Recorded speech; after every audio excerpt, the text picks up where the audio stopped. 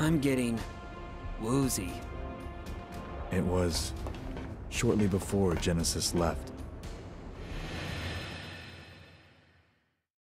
The wound was superficial, but for some reason, Genesis wasn't healing. The man who treated him was Hollander. Professor Hollander, how is Genesis? The problem is the Mako energy that seeped in through the wound. Is it treatable? First, he'll need a transfusion.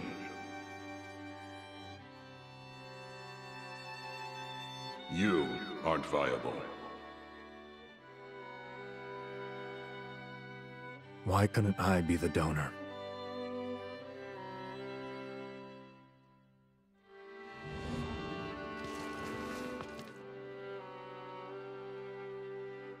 A soldier, type G.